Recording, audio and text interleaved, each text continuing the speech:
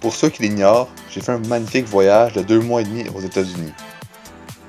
Un pays qui a une immense influence sur le monde entier, autant culturellement que politiquement.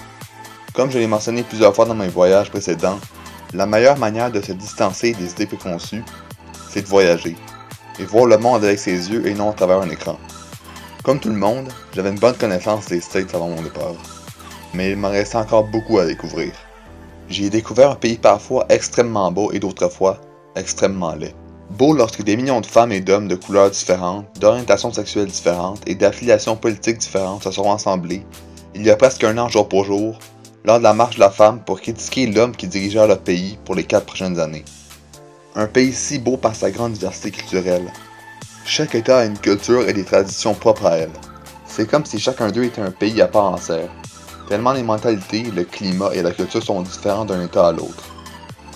C'est bien connu, nos voisins du Sud sont extrêmement fiers de leur pays. Peut-être un peu trop pour certains.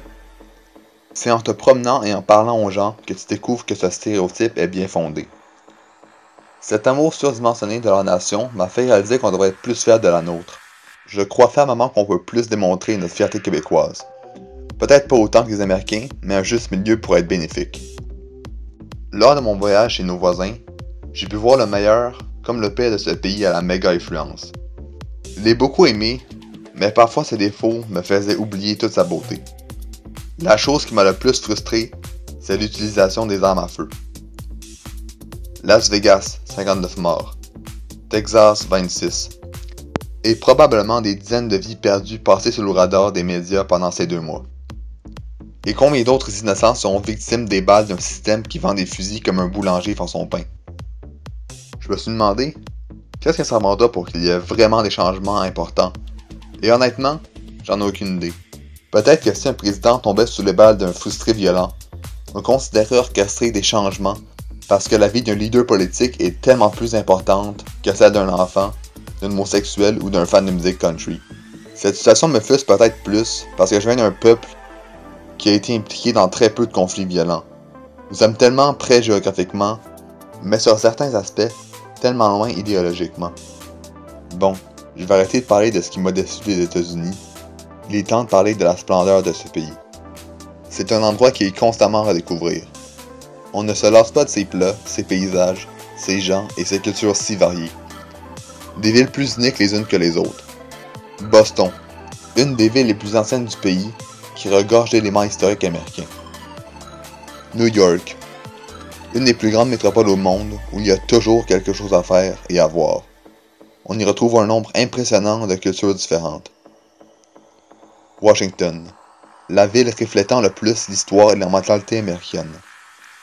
Chicago, cette ville est d'une beauté incroyable. Qu'il neige, qu'il pleuve, qu'il vente, ou qu'il n'y ait pas un nuage dans le ciel, la photogénie de Chicago est toujours au rendez-vous. Dakota du Sud. La sublimité des paysages américains à son apogée. Seattle. Le progressisme à son meilleur. Portland. Une petite ville jeune qui dégage une énergie tellement motivante. Les startups sont très nombreux et le progressisme très présent, ce qui en fait une des villes les plus uniques du pays. San Francisco. Superbe ville où on peut autant voir des maisons pastel, que de paysages et des parcs éblouissants. Los Angeles. Ce symbole de la Californie regorge de lieux mythiques qui vous feront sentir comme si vous étiez constamment dans une série ou un film hollywoodien. Et finalement, San Diego.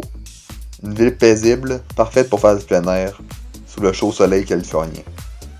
Les États-Unis est un pays tellement vaste que vous trouverez assurément une ville qui vous plaira. Il suffit seulement de sauter dans un avion ou dans une voiture ou simplement de mettre un sac sur votre dos et de passer à la découverte de l'Amérique.